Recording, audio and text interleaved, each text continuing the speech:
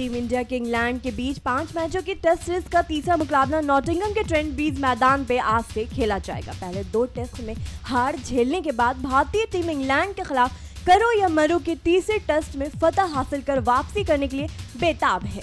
जिसके लिए वह टीम में कुछ बदलाव भी करना चाहेगी। भारतीय टीम के लिए ट्रेंट ब्रीज में होने वाला यह टेस्ट उनके लिए सीरीज़ बचाने का अंतिम मौका होगा। टीम को पहले दो टेस्ट मैचों में एजबेस्टन में 31 रन और लॉर्ड्स में एक सौ सत्तावन रन से हार का मुँह देखना पड़ा था। भारतीय क्रिकेट टीम के मुख्य कोच रवि शास्त्री ने कहा है कि लॉर्ड्स में इंग्लैंड के खिलाफ खेले गए दूसरे टेस्ट मैच में कुलदीप यादव को प्लेइंग 11 में शामिल करना उनकी गलती थी। शास्त्री ने कुलदीप को दूसरे टेस्ट मैच में खिलाने के सवाल पर कहा है। साफ़ तौर पर देखा जाए तो ये गलती थी और परिस्थितियों को देखते हुए हम प्लेइंग 11 में एक तेज गेंदबाज अधिक खिला सकते थे। इससे हमें ज़रूर मदद मिलती।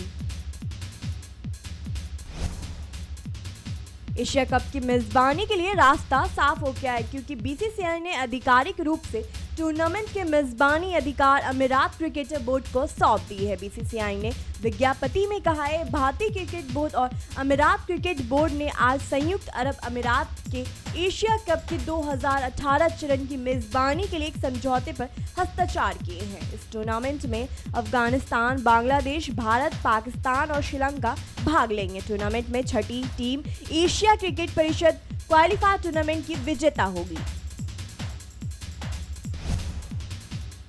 भारतीय दल आज से शुरू होने वाले अठारहवें एशियाई खेलों में सर्वश्रेष्ठ प्रदर्शन के लक्ष्य के साथ उतरेगी। एशिया खेल 2018 इंडोनेशिया के जकार्ता और प्लेम्बांग में आयोजित होंगे।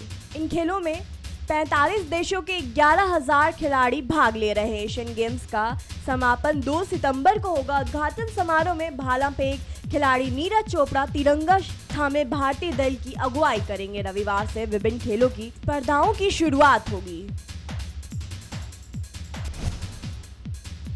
भारतीय पुरुष हॉकी टीम के कोच हरिंदर सिंह ने कहा है, एशिया खेलों में लगातार दूसरा स्वर्ण जीतकर सिर्फ़ 2020 ओलंपिक के लिए क्वालिफिकेशन हासिल करने पर नहीं, बल्कि साल के अंत में होने वाला विश्व कप की तैयारियाँ शुरू करने पर भी लगा है। हरिंदर ने जाकार्ता रवाना होने से पहले कहा, पिछले दो वर्षों में हमने दुनिया को साबित कर दिया कि हम हॉकी मानचित्र पर वापस लौट आए हैं। हम विश्व रैंकिंग में पाँचवें स्थान पर हैं, लेकिन के अंत में हम विश्व में शीर्ष तीन में रहना चाहेंगे और एशिया खेल में इस लक्ष्य को हासिल करने की ओर पहला कदम है।